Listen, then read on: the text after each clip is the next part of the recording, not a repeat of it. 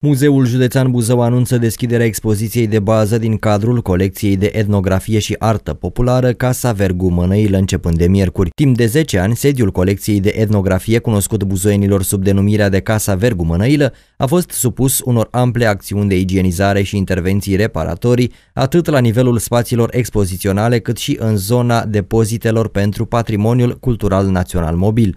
Conducerea Muzeului Județean precizează într-un comunicat de presă că patrimoniul etnografic este pus în valoare printr-un nou concept. Conceptul noii expoziții de bază valorifică nu numai patrimoniul etnografic specific secolelor 18-19 din zona Buzăului, ci și imobilul care găzduiește expoziția. Acest lucru este posibil prin echiparea tematică a camerelor clădirii, precum și prin amenajări muzeotehnice dedicate se arată în comunicatul de presă al Muzeului Județean. Vizitarea expoziției de la Casa Vergu Mănăilă se poate cu respectarea unor măsuri de securitate sanitară. Astfel, accesul va fi permis doar în grupuri de maximum 10 persoane, însă nu mai mult de 3 persoane într-o sală în același timp. Vor putea fi utilizate echipamentele de tip touchscreen doar cu mănuși de unică folosință puse la dispoziție de către muzeu sau vor fi manevrate de către personalul muzeului. Este obligatorie controlarea temperaturii de către personalul muzeului desemnat în acest sens. De asemenea, este obligatorie utilizarea corespunzătoare a măștilor de protecție individuale.